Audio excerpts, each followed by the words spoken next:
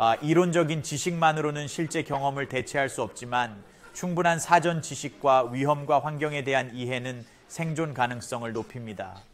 이 영상은 첫 번째 준비 단계입니다. 다음은 여기 팜플론에서 저와 황소 달리기 투어를 해보실 차례입니다. 분명히 말씀드리지만 황소 달리기는 매우 위험합니다. 매일 부상자가 생기고 때로는 죽기도 하죠. 숙련된 참가자들은 이 행사를 진지하게 받아들입니다. 매일 아침 규칙적으로 훈련하며 위험한 상황을 충분히 인식하고 준비하고 있죠. 예, 먼저 몇 가지 기본 사항을 짚고 넘어갑시다. 이 행사는 왜 만들어졌을까요? 황소 달리기라고 하면 보통 팜플로나의 산 페르민 축제를 가리키죠. 예, 산 페르민 축제는 3세기 무렵 프랑스에서 선교 활동을 하다 순교한 산 페르민 성인을 기리기 위해 열리는 축제입니다.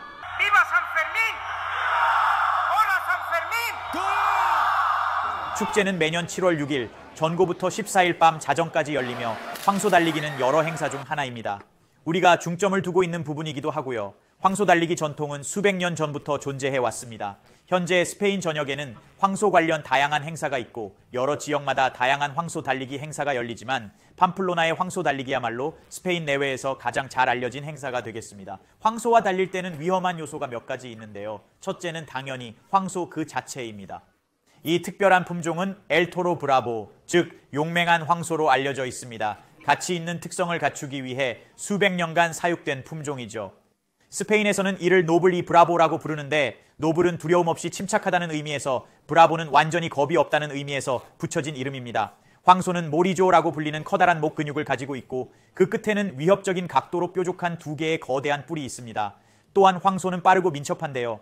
8보 50m 코스를 약 2분대로 주파하는 동안 경사로 두 개를 오르고 모퉁이를 다섯 번 돌면서 수천의 사람들 사이를 달립니다. 황소가 달리는 길에는 많은 인파가 몰리게 되어 큰 위험을 초래합니다. 사람들은 당황합니다. 넘어지기도 하겠죠. 그러면서 서로 엉키게 되는데요. 이는 몬톤, 즉 사람들이 쌓인 상태가 됩니다. 혼잡한 군중은 피하는 것이 안전합니다. 사람이 많다고 해서 안전한 것은 아니니까요. 사고는 어디서나 일어날 수 있으니 발코니 같은 높은 곳에 있는 것이 가장 안전합니다. 달리는 환경은 경로에 따라 여러 번 바뀝니다.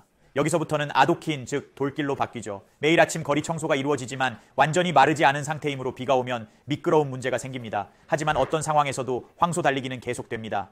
여기 산토 도밍고 거리에는 연석도 있는데요. 연석은 실제로 넘어질 위험이 있습니다. 몇몇 처음 뛰는 참가자들은 황소가 연석을 넘지 못할 것이라 생각하시는데요. 정말 그럴지 두고 보시죠. 코스 경계는 대부분 건물로 되어 있기에 경로를 이탈할 공간이 제한적입니다. 따라서 코스를 벗어나려면 황소가 풀려나기 전이 기회입니다. 황소가 풀려났다면 계속해서 움직이거나 달리세요. 황소 달리기에서 가장 중요한 것은 바로 자신입니다.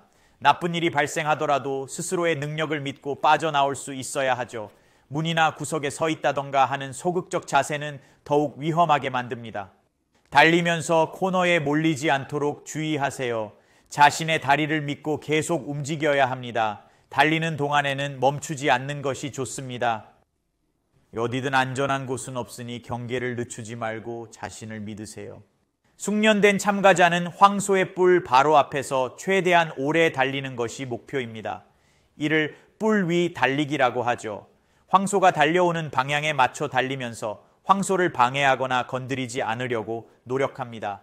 가끔 황소에 닿게 되는 상황이 발생할 수 있는데 이는 주변에 불쾌감을 주며 무엇보다도 황소가 산만해질 수 있어 위험을 초래하게 됩니다. 첫 출전자의 목표는 다치지 않는 것입니다. 아주 간단하죠. 황소가 다가오는 시간에 맞춰 속도를 내고 황소가 지나갈 때는 계속 움직이는 것이 기본 개념입니다. 전체 경로를 다 뛰는 사람은 없습니다. 그렇게 하면 황소가 도착할 때쯤에는 이미 체력이 고갈되어 반응하기 어렵게 될 겁니다. CEO 출전자는 황소의 위치와 속도를 판단하기 쉽지 않으니 상황을 살피다가 극도의 긴장감을 느끼면 달리기 시작하세요. 황소가 다가오기 전에 사람들 속에서 달리기 시작하는 것이 좋고 황소가 도착했을 때 가만히 서 있으면 안 됩니다.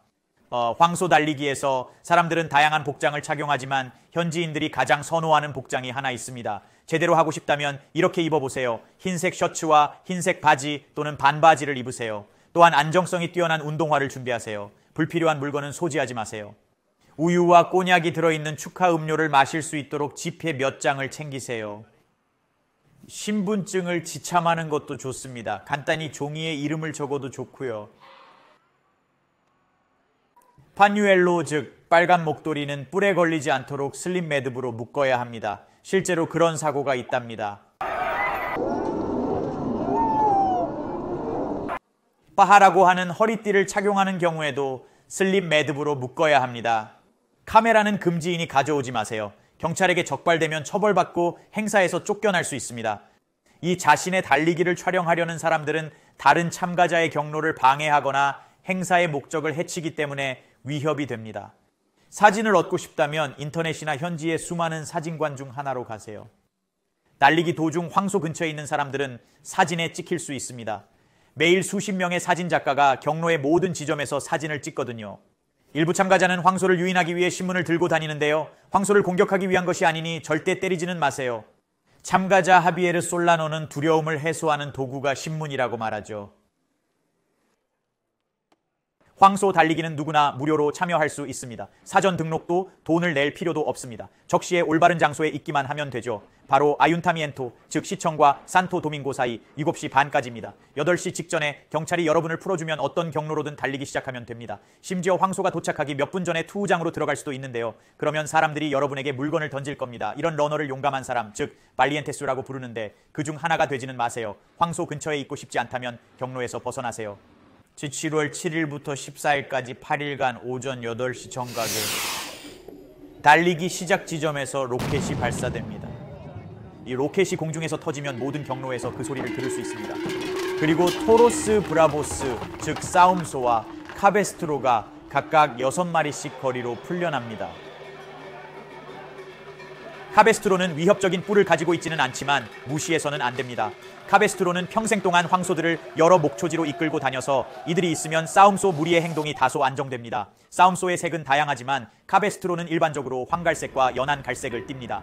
참가 전에 우리에 가보거나 조간신문을 통해 그날의 황소 색깔을 확인해 보세요. 매일 다른 황소들이 출전한답니다. 모든 소가 우리에서 나오면 두 번째 로켓이 발사됩니다. 행사 종료를 알리는 추가 로켓이 있긴 하지만 달리기 중에는 항상 위험이 존재한다는 것을 명심하세요. 메인 그룹이 풀려난 후 두 번째 cabestro 그룹이 풀려날 것입니다. cabestro는 목에 종을 걸고 있으며 싸움소는 종소리에 매우 익숙합니다. 이 종소리는 무리에서 떨어져 나가거나 길을 잃은 싸움소를 안전한 방향으로 인도하는 길잡이 역할을 합니다.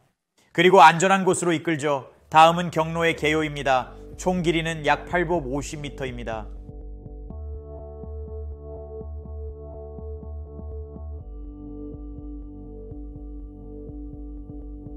C여 번째 구간은 산토 도밍고입니다. 280m의 오르막길이죠. 이 구간이 끝난 후 잠시 평지였다가 아윤타미엔토 광장에서 넓어집니다. 왼쪽으로 살짝 두 번 돌면 Calle Mercaderes 거리가 이어지면서 에스타페타 거리의 시작 지점에 있는 유명한 커브 길인 La Curva에서 끝이 납니다. 에스타페타는 가장 긴 구간으로 텔레포니카스로 접어들기 전 마지막에 잠시 넓어집니다. 그 후엔 잠시 내리막길로 이어지며 Callejón이라는 작은 터널을 지납니다. 달리기는 투우장 모래 위에서 끝나고 소들이 들어오면 망토를 가진 dobladores가 입구에서 소들을 유도하여 우리로 옮기려 합니다. 까에 산토 도밍고는 이 경로의 시작 지점입니다. 이곳은 경사, 즉 라쿠에스타라고 불립니다. 길게 이어져 있으며 길이는 280m 또는 306야드입니다. 루트 초반에는 사람이 없기 때문에 황소들이 속도를 낼 수 있고 가장 빠른 속도로 달리게 됩니다. 황소는 오르막에서 인간보다 상대적으로 훨씬 더 빠릅니다. 산토도밍고에서는 다른 어떤 구간보다 오르막길이 많은데요. 참가자들이 황소에게 빨리 추월당할 수 있죠. 보통 첫 출전자에게는 이곳을 추천하지 않습니다. 너무 빠르게 진행되는 데다 연속도 있거든요. 혼잡한 상황을 파악하기 위해 계속 경계하는 상태에서는 이런 요소가 부담이 되죠. 산토도밍고 구간이 끝나면 아윤타미엔토, 즉 시청에 도착합니다. 이곳은 평탄한 구간이며 매우 빠르게 진행됩니다. 황소가 이 구간까지 가는데 보통 40초 정도 걸립니다. 이때 두 번의 완만한 모퉁이가 있는데 황소가 어떤 경로로 회전할지 예측할 수 없기 때문에 주의가 필요합니다. 사실 전체 경로가 다 그렇죠. 소들은 예측 불가니까요. 이곳은 Calle de los Mercaderes, 즉 상인거리입니다. 시청과 유명한 커브 길인 La Curva 사이에 있는 약간 내리막길로 빠르게 진행되는 구간입니다. 맑은 날에 이곳을 달리는 분들은 메르카데레스 거리 끝에서 비치는 밝은 햇살 때문에 잠시 방향 감각을 잃을 수 있습니다. 이 유명한 커브가 바로 La Curva 또는 La Curva de Estafeta입니다. 일부 초보들은 이곳을 죽은 자의 코너라고 부르던데 아직 이곳에서 죽은 사람은 없으니 그렇게 부르지 마세요. 좀 불쾌하잖아요. 황소는 모퉁이를 미리 인지하지 못하기에 빠른 속도로 모퉁이에 진입하게 됩니다. 그래서 최근 몇 년간 황소의 안정성을 위해 경로에 있는 돌의 질감을 개선했는데 에스테페타의 안쪽 모서리가 안전하다고 생각해서 서 있으려는 초보자들도 있을 겁니다. 문제는 혼자서 움직이는 황소가 모퉁이를 돌 때 그 사람들을 향해 돌진하게 되면 사람들 틈에 끼어 도망칠 공간이 없다는 것이죠. 안전한 공간 확보를 위해 움직이고 싶겠지만 뛰지 마세요. 특히 라꾸르바에서는요. 기술적으로도 까다롭고 초보자는 방해만 되고 모두에게 더 위험할 수 있어요. 황소가 라꾸르바를 통과하면 거리 폭과 같은 크기의 문이 닫힙니다. 이렇게 하면 황소가 방향을 잃더라도 안전하게 통제될 수 있죠. 까의 에스타페타는 루트에서 가장 긴 구간입니다. 많은 초보자가 이 구간에서 뛰기를 선택하는 데에는 그럴 만한 이유가 있습니다. 황소들은 여기까지 오기 위해 먼 길을 달려야 하거든요.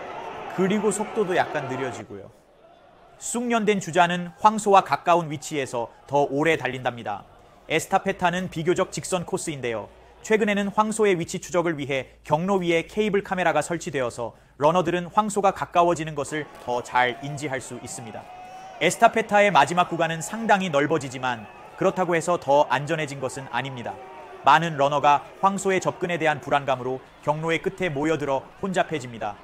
텔레포니카스는 상황이 정말 복잡해지기 시작하는 구간입니다. 넓지만 혼잡한 구간이죠. 터널에 가까워질수록 후반부는 빠르게 좁아지는데 과거 이곳에서 사람들이 서로 엉키고 부딪혀 넘어지는 사건도 있었습니다. 가장 조심해야 할 구간은 까에혼입니다. 이 빨간 문을 통과해야 하는데요. 이 좁은 통로는 두 장의 모래로 이어집니다.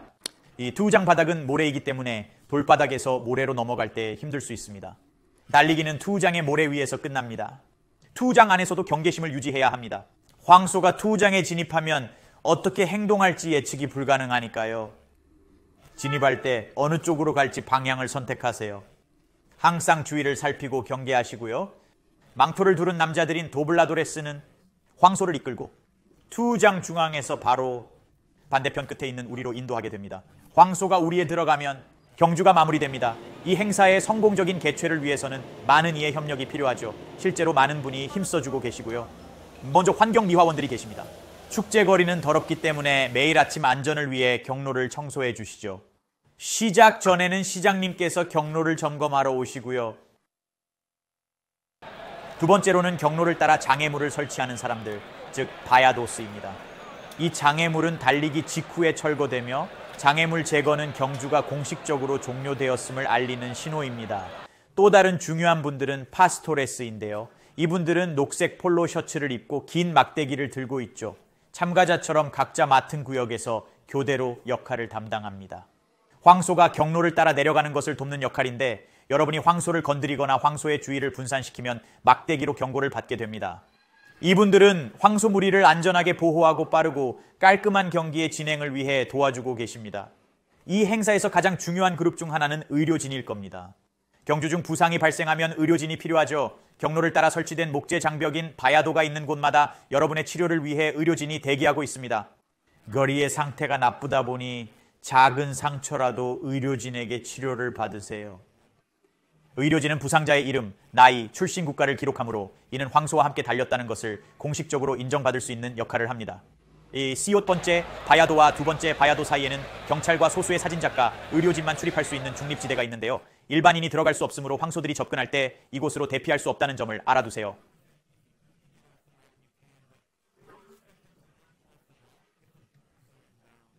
황소가 다가올 때 바야도를 통과하려는 행동은 다른 참가자에게 방해가 될 수 있습니다. 따라서 황소가 풀려나면 계속 경로를 따라 이동하며 끝까지 달리세요. 달리기 시작 전 참가자들은 코스에 있는 산 페르민 동상 아래에 모여 성인에게 경의를 표하고 안전한 경주를 기원합니다.